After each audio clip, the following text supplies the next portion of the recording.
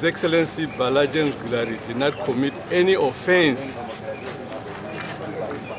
as prescribed by the Adamawa State Procurement Law. And also, Bala James Ngilari was not a procurement entity as arrived at by his lordship at the trial court. You accept what comes your way, bearing in mind that it is God that orders our steps. The useful lessons you pick and move on with your life. But the important thing is that God must take glory for what has happened.